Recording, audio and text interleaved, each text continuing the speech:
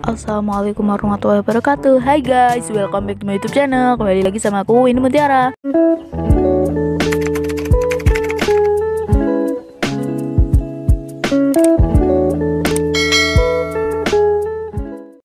Guys, di video kali ini aku mau bikin video tutorial motion lagi ya guys. Tutorial cara membuat transisi motion.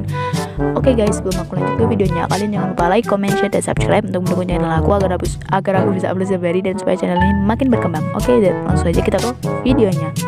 Let's go. Oke guys, terus kalian buka aja aplikasi motionnya. Eh, Maaf guys, karena ini video tadi. Terus kalian kita ada plus, terus kalian klik buat proyek. Terus kalian tambahkan satu buah foto dulu ya guys Oke terus kalian pangkas jadi satu detik. Oke terus kalian tak bisa tambahin foto lagi dan kalian bisa pangkas jadi dua detik. Seperti ini. Oke terus kalian ke foto yang pertama. Kalian klik efek klik tambahkan efek. Kalian tambahkan efek namanya remas. Kalian bisa cari di story atau bar. Kalian cari namanya remas atau squeeze ini guys terus kalian kasih keyframe di depan sama di belakang. Yang di belakang ini kalian bisa ubah menjadi 1000 guys.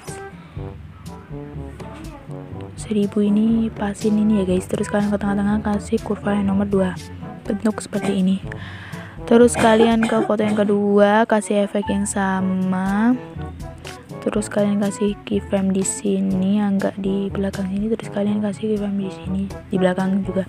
Terus yang di depan ini kalian bisa ubah menjadi di 1000 lagi sama ya guys min 1000 sekalian ke tengah-tengah kasih kurva yang nomor 3 bentuk seperti ini.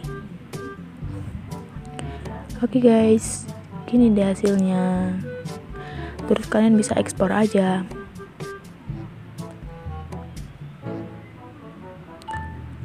Karena ini gak pro jadi ada tulisannya seperti ini ya guys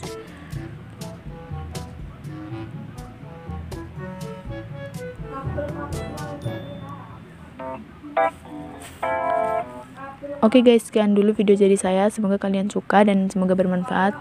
Kurang lebihnya saya mohon maaf.